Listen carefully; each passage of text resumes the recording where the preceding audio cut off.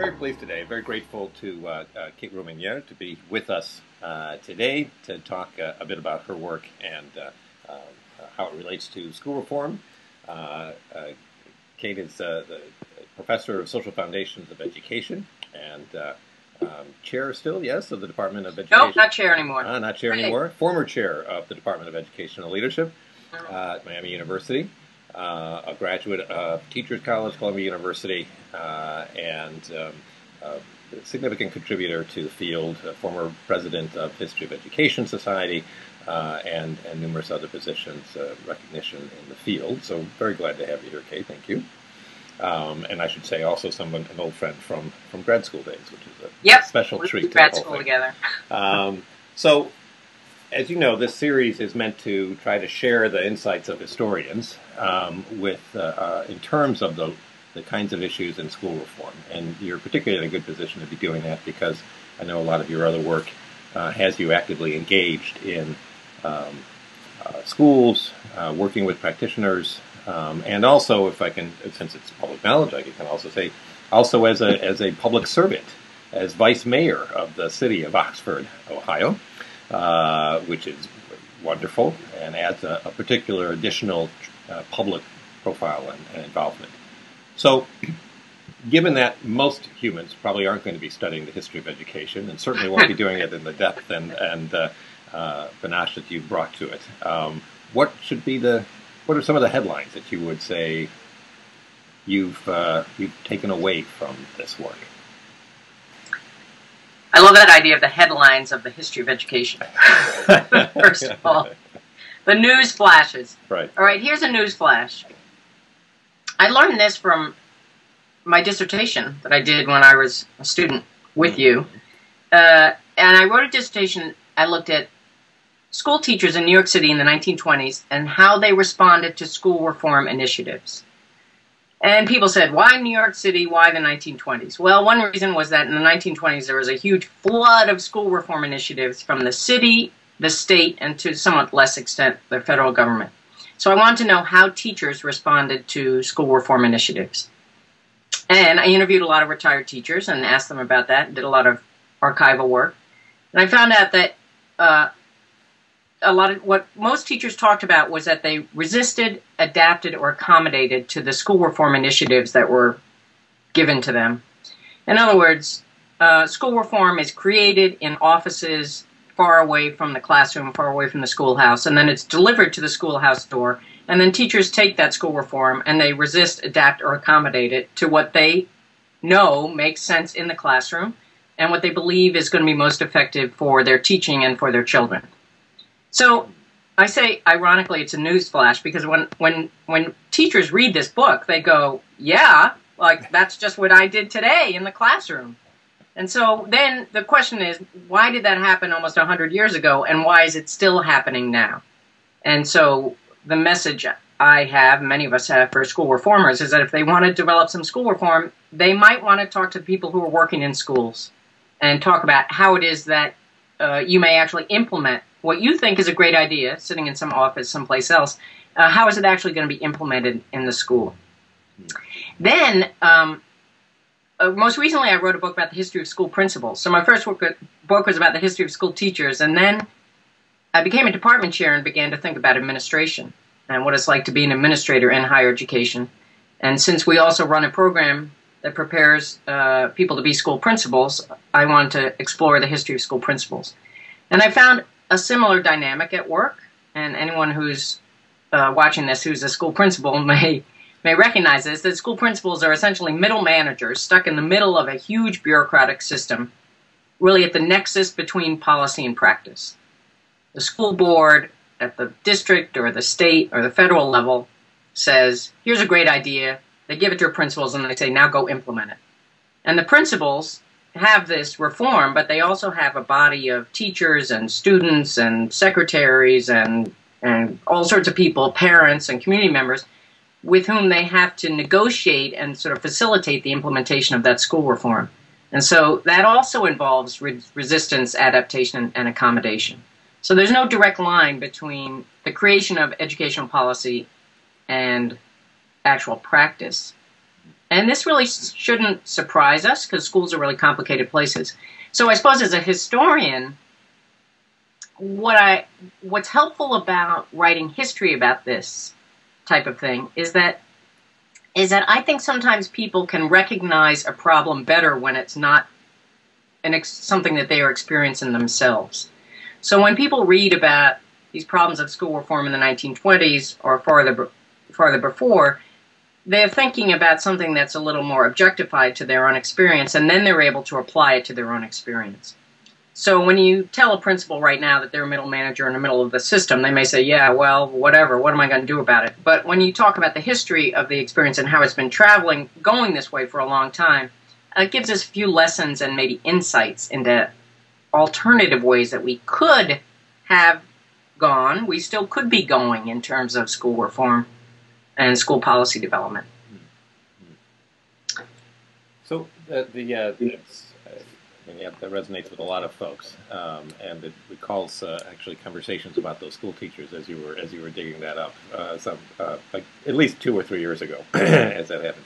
Um, the so you talk about this resistance, adaptation, and accommodation. I have uh, two questions. One is, do you see any um, I can imagine school reform uh, colleagues saying, well, yes, but are there some that they uh, accommodate more than others, adapt more than others, resist more than others? Or are there shifts in patterns of this as you've seen it over time? Or uh, are there factors within the particular context in which it's happening that you think are, are suggestive of what we ought to be be learning from, from looking at these? As you've looked at a number of individual lives rather closely, it seems to me, in, in, in, uh-huh. in these, in these categories. Is there is there anything there as you've sifted through that in the mix of these three kinds of reactions to reform by the teachers or principals? Yes. I think um, one of the immediate reactions to some of the work that I've done is people say, well, then we should get rid of educational policy and, and teachers should be able to run their own schools. Hmm. But in fact, when you talk to teachers and teacher leaders and school principals in the past, what they are often articulating is a need for some kind of um, central, almost common guidance in how they should be doing their work. That would be at the core, maybe, of their work. At maybe at the core of their work. they often say that that it's not that I'm opposed to my principal or my superintendent telling me what to do. I just want them to tell me what to do in a way that is consistent, that is that is common across the school and across the district, and uh, that makes sense to me as a teacher. So that that really rings through over the whole history of education that teachers are, are looking for guidance. It's not like we walk into a classroom and immediately know what we're doing at all. At least I didn't when I became a teacher. I really wanted guidance, but I wanted guidance that made uh, sense, and that it made sense between me and my students, and and and, and also my colleagues who I worked with. Um, and teacher leaders have argued for that as well. So another body of research that I've been exploring was the history of, was the biography of a teacher union leader, Margaret Haley, who founded the first teachers union in the United States in Chicago in the early 20th century. And her argument also was that teachers needed support, and they needed uh, support and they needed respect, because her argument, uh, like the great philosopher John Dewey, was that education is part of community and it's part of civic society. And so teachers need to be supported as agents of our of our nation, of our of our community, and of our nation. Um, and uh, given the kind of support, and in her case, she was interested, like many people are, in terms of compensation. So teachers need to be paid what they deserve, uh, but they also need to be given other kinds of supports, from supportive teachers to supportive curriculum materials to also uh, pensions that will help them in their later in life. So, um, so that's a common theme also that uh, the teachers need to be uh, given the kinds of supports that can help them develop the kind of work that they believe will be effective for children. Mm-hmm. Some would also suggest um, I, I, one of these other uh, conversations had to do with uh, was a conversation with uh, uh, our colleague David Labaree, who um, suggests that part of what is new uh, in recent school reform has been uh, the design such that it has allows for less wiggle across the resistance, adaptation, accommodation. Uh, that it is meant to make a, a famously uh, loosely coupled system more tightly linked. Yeah, Uh, yeah. And I'm wondering if you can, can help us get a sense of that, or what's your read of that in terms of how that has been playing out, how you see patterns of that. Is that an old claim maybe that's coming up again, and everyone thinks that the reform that's hitting them is another effort to tightly couple and they wiggle out of it, or is this Mhm. something different, or what are your thoughts? I think that this this this system of trying to tighten up the loosely coupled system is has been going on for a long time, and it may be more um, extreme now. Um, but certainly, when you listen to teachers talk about the 1920s and other periods in the past, they also felt that it was the most extreme. So, so I don't really know how to gauge that. You know, we're dealing, for example, right now with technology, which is somewhat more either invasive or all-encompassing of the classroom. So that makes the intensity maybe of the form somewhat different of the reform something different than maybe it was um, in the 1920s. hmm But um, in both cases, uh, I use what's called the uh, fire engine example, which I learned from one of the teachers who I interviewed in the 1920s. She was given a curriculum to give to her fourth grade kids, and she had to follow a very strict curriculum. This is in like 1920.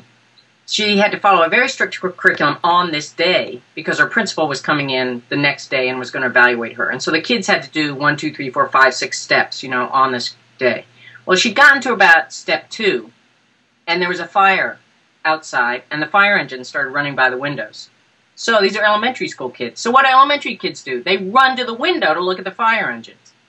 She turned it into a teachable moment, you know, learning about fire engines, but she also then lost the curriculum that she was supposed to be following. So there's still fire engines out today. Kids are still running to the window to look at fire engines when they run by, and um, and the intensity of the, of the curriculum is undermined, whether it was in 1920 or 2014, um, in that same way. And you mentioned you mentioned your your uh, uh, early book on Haley, um, and certainly the question of of uh, uh, uh, unions and, and education and school reform uh, is a long-standing one. Um, although, well, perhaps you know the, you know this literature better than I do, but I mean, it's not necessarily a deep literature on the history around unions and, and uh, teaching. But um, I'm wondering how you understand that. We seem to have experienced, uh, well, we have experienced a larger uh, period of deunionization of certain sectors. Um, and some, uh, of course, uh, critics of current reform directions would say that, that it really is a, a pretty clear attempt to try to deunionize, uh, you know, a, a holdout, public unionized sector. Um, Mhm. How do you locate that, uh, the the unionization effort, um, the its role uh, within either as a resistance, accommodation, or adaptation uh, element for school Yeah. reforms and such? Unions are such a complicated and controversial issue. I mean, there are a couple of things I want to say about unions today. One is that unions are what they are today in part because of legal policy that was set up by state and federal law in the past 50 years. So the restrictions that are on both school systems and on unions have been set up from the past, and so those are not the, the fault of an individual union leader who's in your school district today. It's a system that's developed over time, and maybe that system needs to change. Um, but um, the important thing about unions is that they uh, represent the interests of teachers, and until school districts and communities decide that they want to represent the interests of teachers, I believe that we still need teacher unions. Um, teaching is such a complicated uh, occupation, and it's it's complicated. One of the complications is that everybody thinks it's easy because we were all in school and we saw teachers, so we think we know what it means to be a teacher. But really, only teachers know what it means to be a teacher. I was in a first grade classroom last week, and I couldn't believe the amount of work that woman was doing for half an hour in a first grade classroom, and just the intensity of that labor.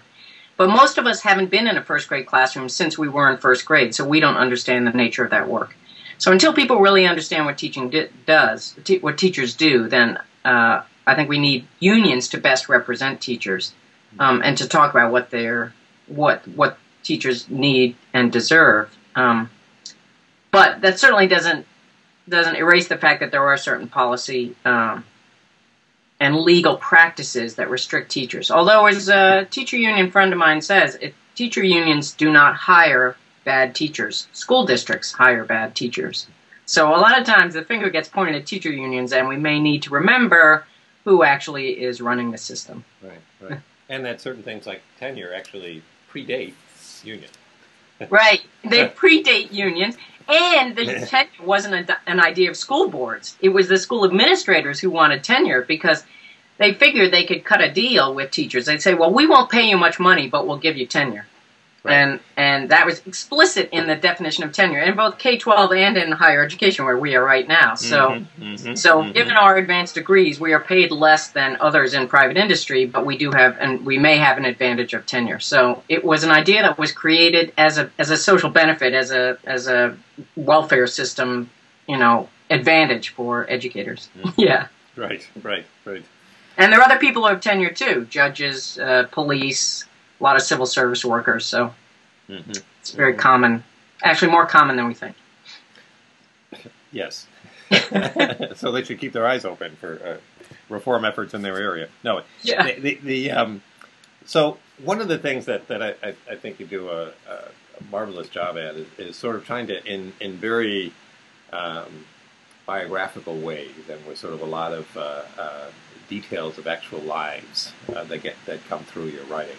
Um, talk about these positions, and and I guess what I might want to ask about is this uh, role that educators play between uh, very individual lives, uh, local communities, uh, families, and so forth, and what they're looking for, and the larger level of societal demands and expectations uh, that there, that we make upon this institution and therefore these individuals who, who work there. Um, I'm wondering if you if, if that calls to mind any particular lives that you've looked at over time. Um, this idea of sort of how do we how might we uh, help people see how that plays out? Um, you know, I love, by the way, the quote that you had in the in your recent book about the you know these hard charging individuals that have been school principals for years and years. It's messy, it's complex, and it has always been that way. yeah. Uh, so I'm wondering if you could help us uh, uh, paint a picture of some of that kind of complexity, especially as this, really I the. Uh, first, I love teachers, and I used to always love teachers, but now I really love school principals because their lives are more complex than even teachers. I mean, that's what surprised me so much.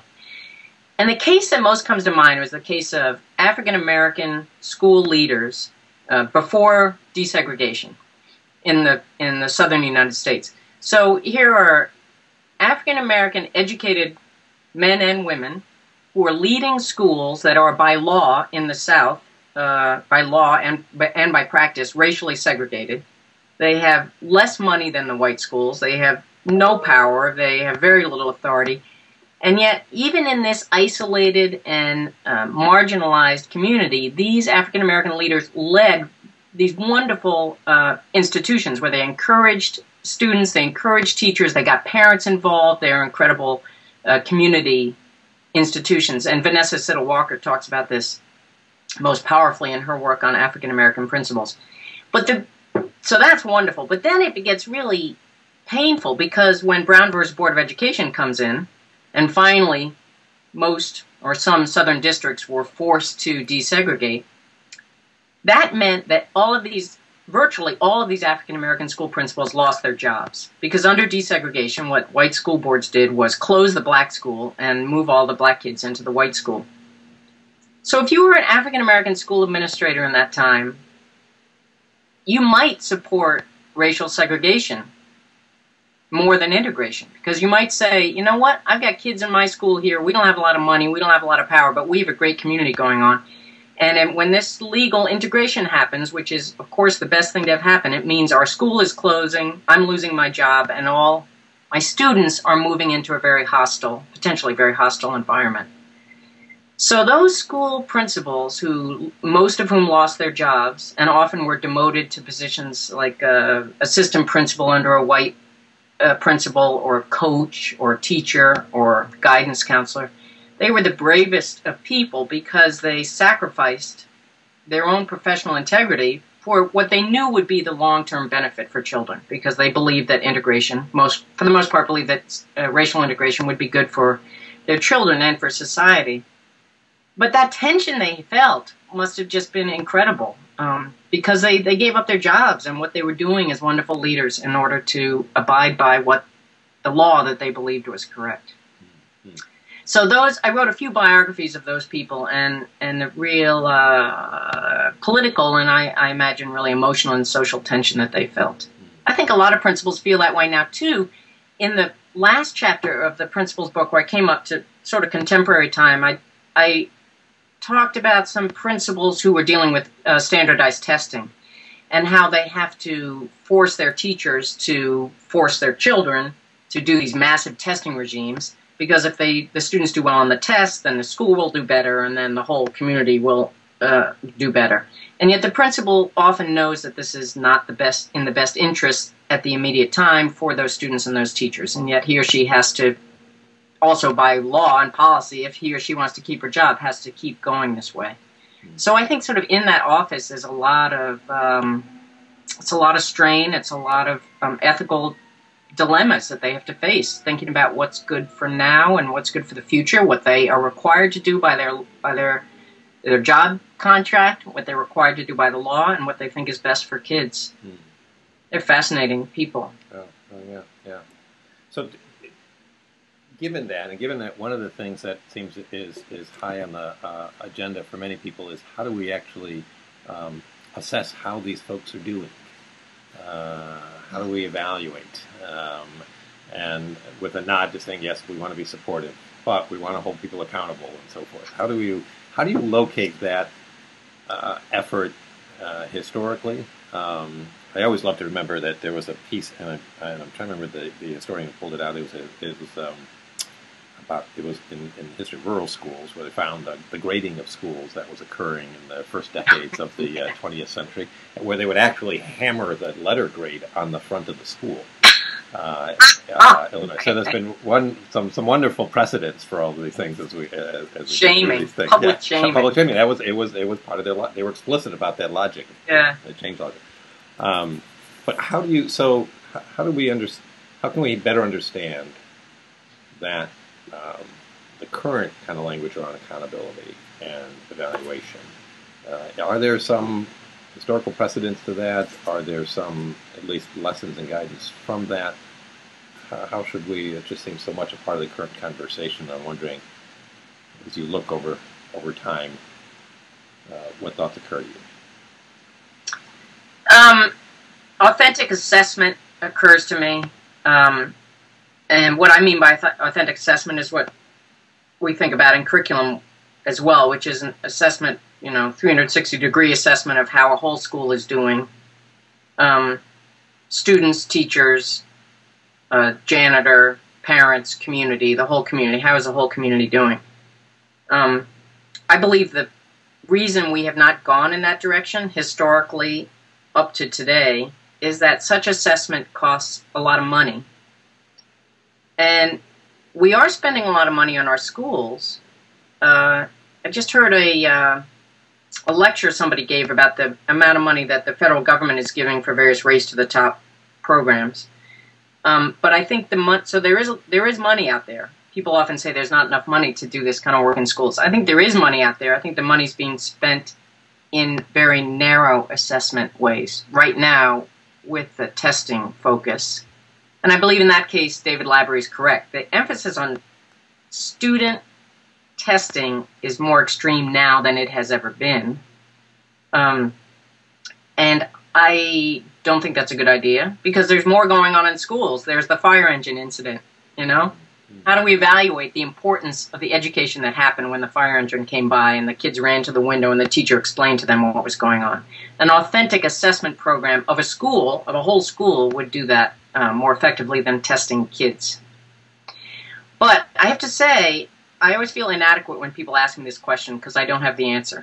And so this is where I rely on educational policy folks to read the history of education and then for them to develop the policy that might make this happen. Mm-hmm. Um, because I know how to look at the past and assess what's happened in the past, and I know I know a fair amount about schools today, but I don't really know how to make that kind of change happen today. Mm-hmm. I do think I share ideas with a lot of people about what's not working. Um, and I think that we can learn from history, but I, I always wish I could give you the silver bullet answer. Mm-hmm. Mm-hmm. I can't. I kind of guessed that would be the case. Yeah. so one of the things that you've also, you know, that's been a part of this profession in the field have been the, the um, questions around uh, gender, questions around the, the role of women, especially as teaching became more of a, a female profession, um, as administration uh, clearly did not in the same way, uh, and all the various other kinds of echoes of both uh, the professional structure, what the particular roles were about, um, as well as uh, I mean, obviously a huge area in terms of just what we meant schools to be about and, and uh, in terms of curriculum, in terms of relation to what families were doing and so forth. But, but let me just concentrate for a moment on the, on the professional roles, uh, those of teachers, uh, and uh, first, I suppose, and then later perhaps turn to administrators. But in terms of um, how you understand and what we ought to be keeping in mind from the history of this profession that has a particular uh, um, um, from which we can learn a lot by, by looking through certain gender lenses, I suppose. Mm-hmm. Um, I think it's important to remember always that in the mid 19th century, when Horace Mann, who was the Commissioner of Education in Massachusetts, one of the first really significant state commissioners of education, who is sort of the architect of the modern public school system, you might say, that he designed what he saw as the modern public school system, specifically pinpointing women to be teachers uh, one reason was that he believed that women were caring individuals, and this would allow schools to become more caring places, which I think was a good idea. But the other thing that he said explicitly was that women could be paid less. Women will demand less money, and also they seem to be, in his mind, a little more malleable, and so you could tell teacher women teachers what they were going to do. So that's the origin of the feminization of teaching. That's why women went into teaching because there were school leaders who said who identified women as good teachers for both good reasons and also for I think really dangerous region, reasons, which is that women could be paid less and could be expected to do less because they were seen as being more malleable. So that fit right into the groove of how women who through the 19th century up till through today are moving are in professions we are professional creatures as much as you know we've ever been now than we were before, and yet still women are paid less and are often seen as less knowledgeable and um, and important than men. So it's a sort of gendered. It's a very much a gendered theme that's gone through the history of education and the history of teaching. So that plays into why people may not think teaching is that important, why teaching is easy, um, why teaching is just you, you don't need to be trained to be a teacher. All you have to do is care about kids. So you don't need to go through a long training process. It's not like becoming a, a brain surgeon where you have to learn something. This is what people would say. Um, you can just naturally become a natural teacher.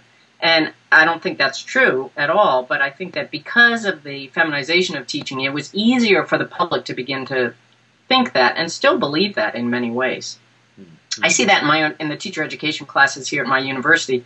Most of the elementary school aspiring elementary school teachers are young women, and many of them are just lining up in this same ideology. And they're saying, "Yeah, I like kids. I'm real, you know, I'm I'm learning things, but I mostly just love kids, and I think teaching sounds like kind of a nice job. And then I'll move on to it, and then maybe I'll get married and have kids. So they that may actually happen to them, but the fact that the profession has followed that line of thinking is what's been dangerous, really, and not, I don't think, a good thing for schools. Mm-hmm. I'm not saying women aren't good teachers. I'm just saying that the way the whole kind of conception of the occupation has been shaped in that way has been not good. Yeah. Have you seen? Do you see anything that we can learn across differences of elementary and secondary? That yeah. Have some different paths on that uh, gendered history. Yeah, that is so interesting because because men continue to go into secondary education. In fact, through throughout history, half of secondary teachers have been men, um, half women. Elementary school, ele- elementary teaching was the was the field that really became predominantly female up through to today. So secondary teachers have a little bit more authority. Uh, they are also more subject based, which gives them a seemingly sort of a cultural authority because they seemingly are seen to know something. Now, elementary school teachers know more than anybody. That first grade teacher I saw last week, she knew how to control 25 first graders. Was a, she was a genius, and yet that's not seen sort of in a cultural perception as as some as really important knowledge. It's not as important as running a school, running a bank, um, or even uh, teaching biology or math. Mm-hmm. So that's our cultural perception that I think is screwing us up. Yeah, yeah. And how have you seen that play out? How does that play out for the in the history of uh, school leaders? Yeah, that's interesting too because um, up until World War II, half of all elementary principals were women half of all elementary school principals are women. When we think of school principals today, we think of all men. And in fact, it's been predominantly men. Uh, it continues to be predominantly men, although we're moving, there are a few more women moving into the principalship now.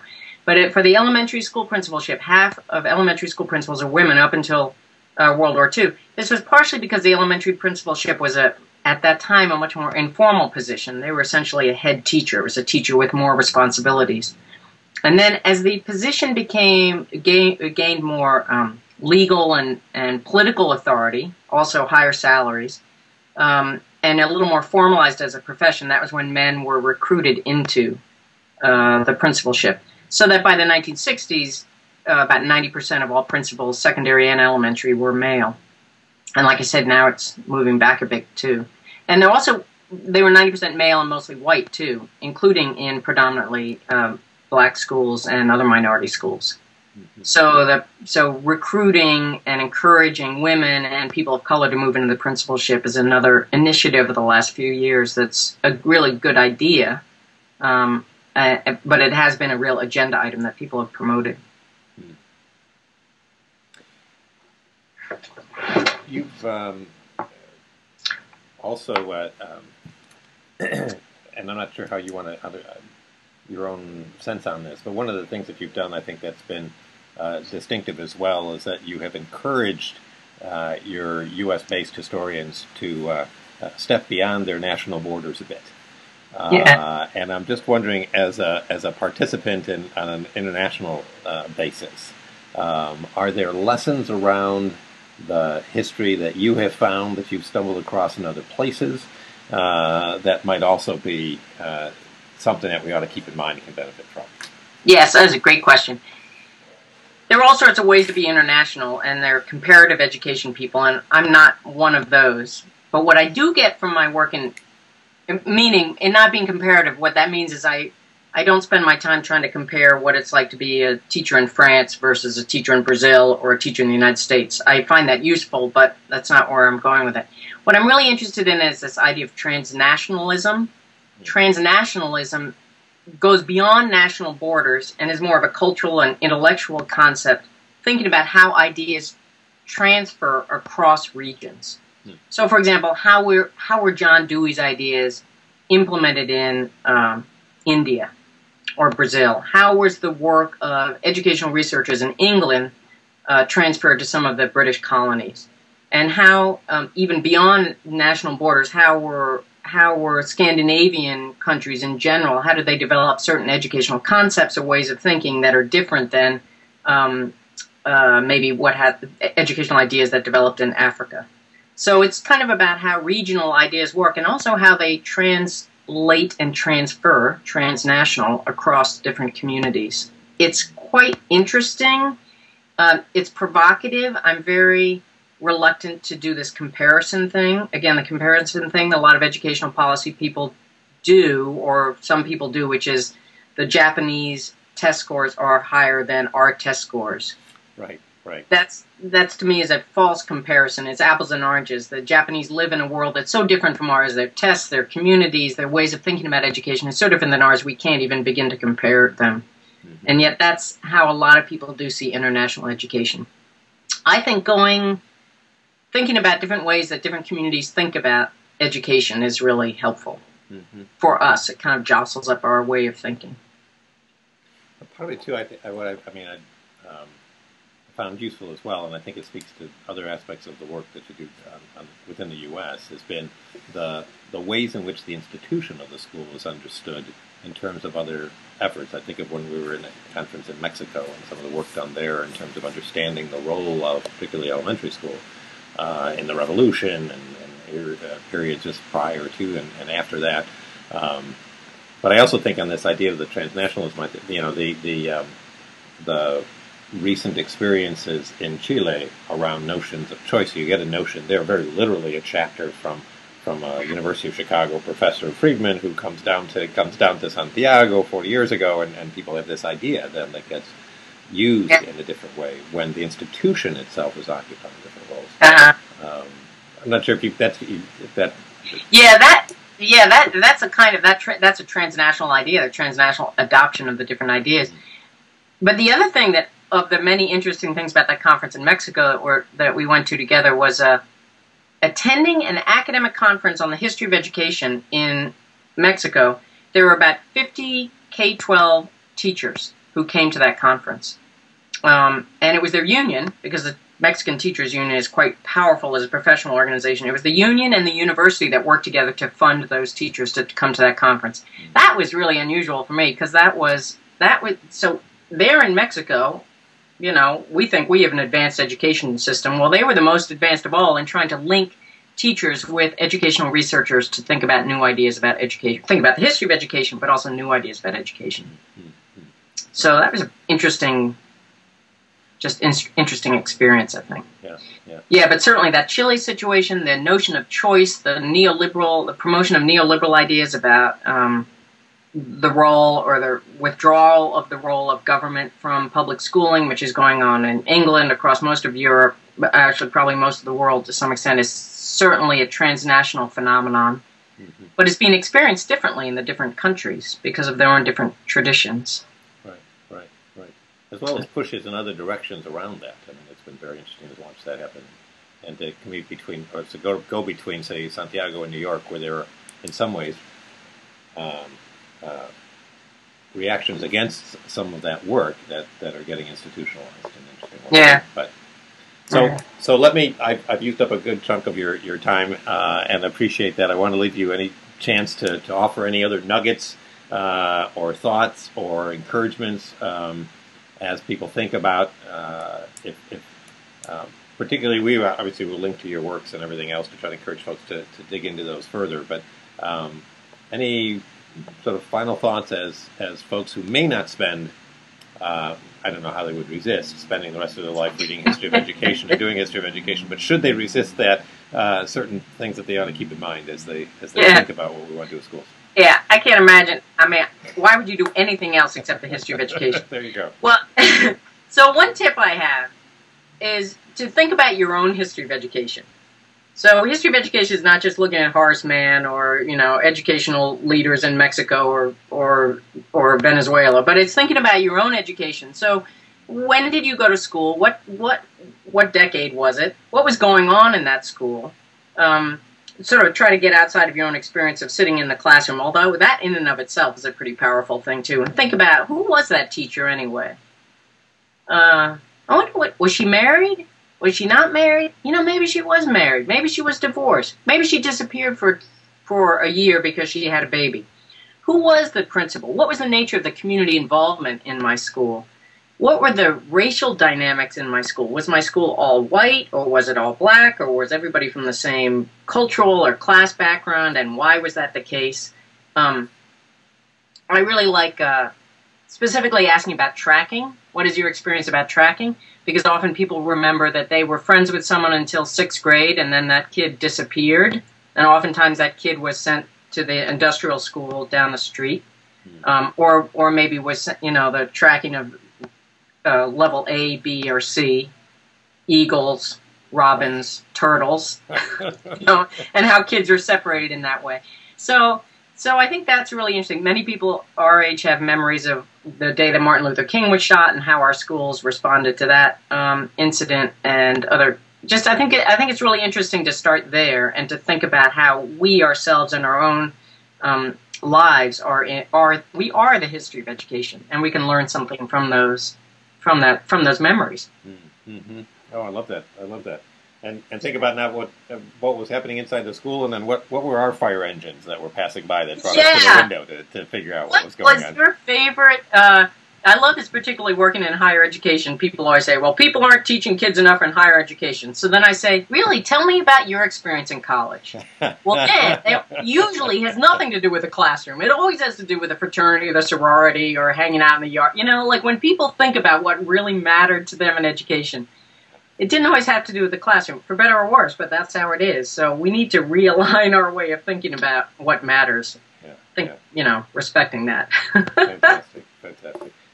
Kate, as always, a huge pleasure. Thank you so much for doing this, and uh, um, um, look forward to, to future conversations. So, Good. Thank you Thanks so much. All right, take care.